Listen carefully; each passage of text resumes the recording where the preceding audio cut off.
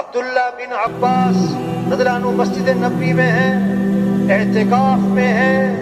एक शख्स को देखा, एक शख्स को देखा, उसके पास गए और उससे पूछा कि तुम्हें क्या बात है? मुझे ऐसा लग रहा है कि तुम परेशान हो। ये शरीयत का मिजाज है।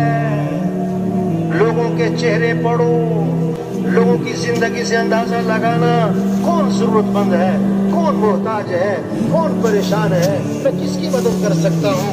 परेशान लोग ना फिरे अब्दुल्ला बिन अब्बास जब उसके पास गए और फरमाया, मुझे लग रहा तुम्हारे चेहरे से कि तुम परेशान हो। आगा, जी, आपने सही पहचाना है, मैं बड़ा परेशान अब परेशानी सुने, अब परेशानी सुने, परेशानी क्या है? मैंने किसी से कुछ लेना है और वो देता नहीं। नहीं नहीं नहीं, परेशानी क्या है? मैंने किसी का कुछ देना है और मेरे पास है कुछ नहीं। ये परेशानी मैंने किसी का हक देना है और हुजूर वसल्लम की कब्र की तरफ़ इशारा किया, इस कब्र वाले की इज़्ज़त की कसम मैं उस हक के अदा करने पर कादिर परेशान। अब्दुल्ला बिन अब्बास ने फरमाया, अगर तुम कहो तो मैं तुम्हारी सिफारिश करूँ। शरीयत का मिजाज है। अगर आप किसी की बात आगे पहुँचा सकते हैं तो पहुंचानी चाहिए। उन्होंने कहा, आपकी मेहरबानी होगी।